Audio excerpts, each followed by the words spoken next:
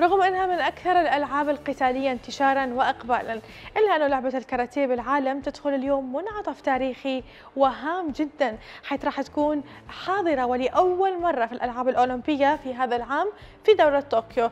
راح نحاول من خلال فقرة ضيفان سبورت أن نتعرف أكثر على الكاراتيه العراقية وخير من سيتحدث عنها أكيد لاعب المنتخب السابق والمدرب الحالي سعدون العنكوشي ونائب رئيس الاتحاد العربي للحماية الشخصية ورئيس لجنة الفنون القتالية في نقابة الرياضيين العراقيين والحكم الدولي. أهلا وسهلا بك وحياك الله كابتن سعدون. بلي بداية أنا أرحب بحضرتك وبالضيوف الكرام. أه بداية إحنا أنا بديت 1993 يعني عمري كان 13 سنة. بدأت الكاراتيه في نادي التضامن أنا بداية يعني هوايتي كرة القدم حلو. كان عمري 10 سنوات. فأصدقائي بالكاراتيه الكابتن حيدر محمد حسن وأحمد محمد حسن أصدقائي هاوين هاي اللعبة؟ فدخلت وياهم اني نعم. فمن دخلت انطلقت من نادي التضامن تحت مدربين محترفين ومؤسسين. لعبة الكاراتيه في النجف في 1979 هو الكابتن محمود العكاوي من بعد رشيد الوائلي. بس اني ما لحقت عليهم يعني تدربت عليهم تحت يعني مدة زمنية قصيرة. نعم. نقول فد ست شهور.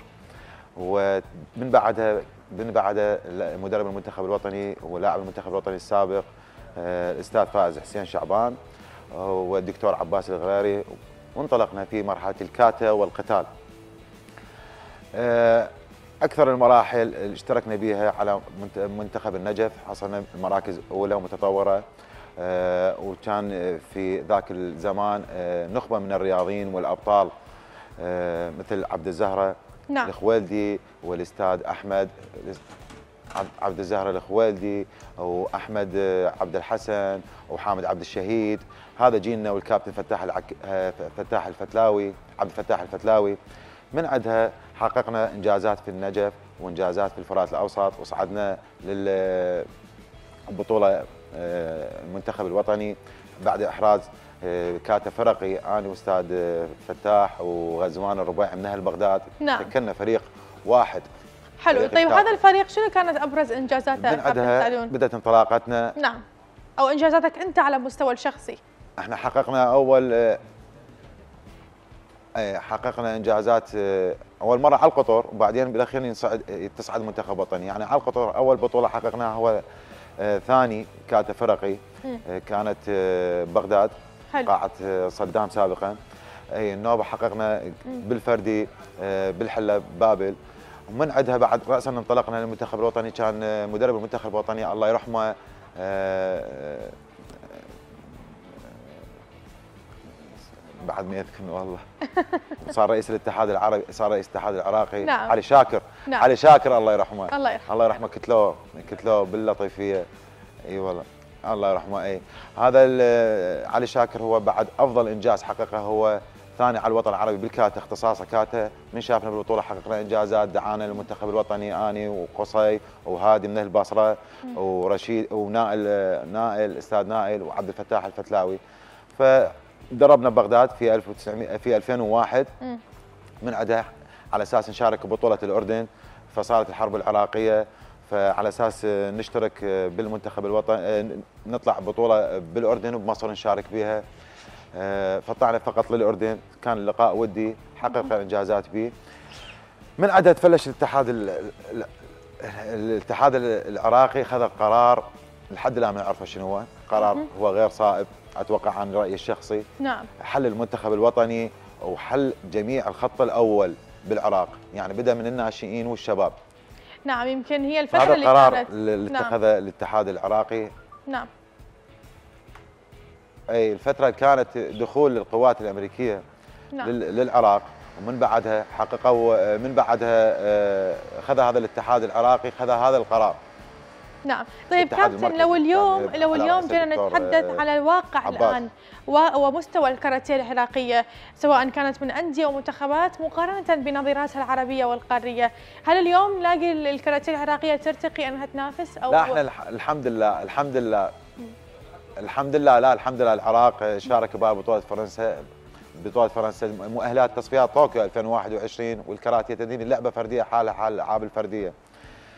أه تدرين الالعاب الفردية عموما بالعراق. هي ألعاب مظلومة. دعم ماكو لا من الأندية لا من المؤسسات لا من المسؤولين لا من المحافظ لا من اللجنة الأولمبية. فقط إحنا أنظارنا على كرة القدم. والاتحاد العراقي المركزي بقيادة الدكتور عادل عيدان ما قصر يعني. أعتقد اني من جيبه الشخصي وخذ لاعب عندنا من الشمال شارك حاليا وفاز على اللاعب القطري وفاز على اللاعب الفرنسي. بس ما تأهل ما وفق الحق ما وفق الحظ. إن شاء الله حظ أوفر له آه، هو قدم يعني أعظم ما فيه مع العلم إحنا تدرين لا معسكرات عندنا تدريبية. اللاعب يكون معسكر تدريبي يكون مدرب صحيح. آه، أخصائي له يكون دكتور أخصائي. فتدرين فعجلة. إحنا عندنا التأشيرة مالتنا هي التأشيرة واحد ثلاث أشهر لو تطلع موافقة لو ما تطلع بالعراق نعم. فإحنا الألعاب الفردية عموما إذا بدي احكيك عن الحلقات يعني مظلومة صحيح. ومن جهة اللاعب يعني. هسه إحنا حاليا فاتحين عدة مراكز وأندية اي فاتحين عدة مراكز. طبعا عن طريقكم أشكر آباء الإبهات. يحبون هاي اللعبة وال... وال... والأطفال هم يحبون هاي اللعبة دا يخسرون من جيبهم آه، على مود تبقى هاي اللعبة محافظة. نعم، طيب كابتن اليوم الكاراتيه دخلت الألعاب الأولمبية. إن شاء الله يا رب. الكاراتيه اليوم دخلت الألعاب الأولمبية ملي. وهذا الموضوع يتطلب اهتمام أكبر بالناشئين والمنتخبات، هل هناك اهتمام بهذا الموضوع على المستوى الحكومي؟ ووين إحنا من تمثيل الكاراتيه العراقية في الأولمبياد المقبل؟ إن شاء الله إحنا قلت لك مثلنا إحنا مثلنا بطولة طوكيو يعني قبل أسبوع إحنا اللاعب اجى من السفر آه من الشمال مثلنا إحنا هذا وإن شاء الله نطمح بس هو شنو الموضوع؟ الموضوع هو شغلة وزارة الشباب والرياضة واللجنة الأوروبية. الخلاف اللي بيناتهم هذا مو بصالح الرياضة العراقية طبعا. خصوصا إحنا الألعاب الفردية. إحنا لما نطمح نطمح الوزارة تدعم اللجنة الأولمبية، اللجنة الأولمبية تدعم الأندية ومن الأندية ينطلق اللاعب. إحنا كنا نط... يعني أكثر من لقاء إحنا التقينا شنو سبب تدني الرياضة بالعراق هو السبب واضح هو التربية. وزارة التربية صدقيني وزارة التربية إيش عليها؟ إحنا كل إحنا انشانا من ال... من الابتدائية من المدارس. آه كل إنسان له حلم له هواية بأي لعبة. مو مجال فقط كراتية. أكو واحد حلمه بالسلة أكو واحد عنده أي. فتدري بس المادة وكلها تدري بس المادة هي السبب الرئيسي والأساسي بتدني المستوى ومستوى اللاعب. نعم. طيب كابتن اليوم يعني أنت تقدر تقيم الوضع الكاراتيه العراقية بشكل عام إنه جيد وأفضل من قبل. طيب اليوم شنو نصيحتك اللي ممكن أن تقدمها لكل الأشخاص المهتمين بهذا المجال وللأهالي اللي عندهم أشخاص موهوبين وحابين أن يسلكون هذا الطريق؟ طبعا.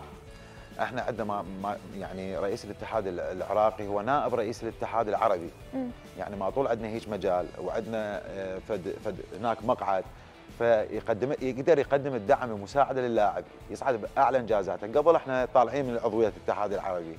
يعني العراق ضعيف كان. صحيح. بس حاليا لا العراق قوي بالاتحاد العراقي بقيادة الدكتور عادل عيدان. ما طول عندنا هيك إحنا مقعد ما طول عندنا هيك سلطة ومنصب. اي يعني هسه فرصة للاعب هاي الفرصه كنا إحنا محرومين من عندها بذاك الوقت. فهسه فرصة للاعب وفرصة للأهالي وفرصة للاعب يطور روحه. صح هو راح يتعب على روحه ما راح يحصل دعم فكل إحنا بدينا نخسر من جيوبنا يعني أكثر من دورة شاركنا. بالمناسبة بال 2005 إحنا من نتفلش المنتخب الوطني. نعم.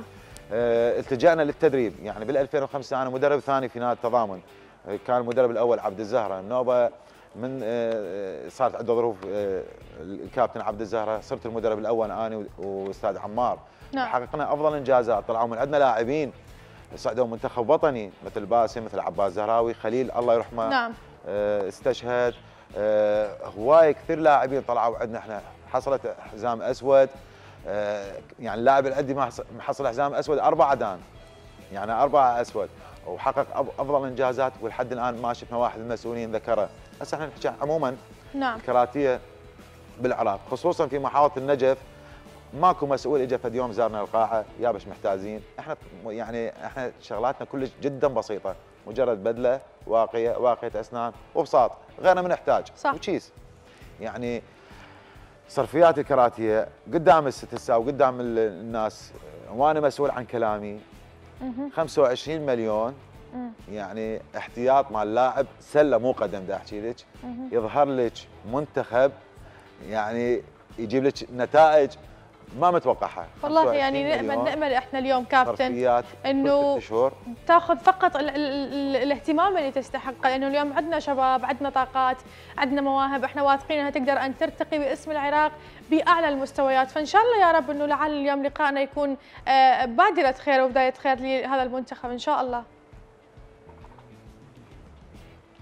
والله نأمل نأمل. إن شاء الله إن شاء الله. بس دعم بسيط. هسه إحنا حاليا سمعنا الاتحاد العراقي راح يستلم مبلغ كل الاتحادات يعني اللعبات راح يستلمون مبلغ على مود. تدرين إحنا صار لنا ثلاث سنوات ماكو بطولة محلية لأن فلوس ماكو؟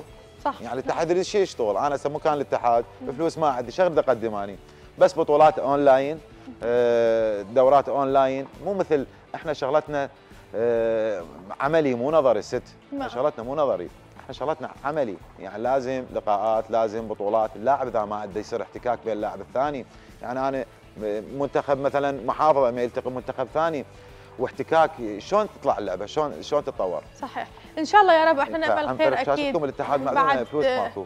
وسلطنا الضوء اليوم على موضوعنا لهذا اليوم. أكيد شكرا جزيلا لوجودك ويانا كابتن سعدون العنكوشي وإن شاء الله أن لقاء آخر. شكرا لك.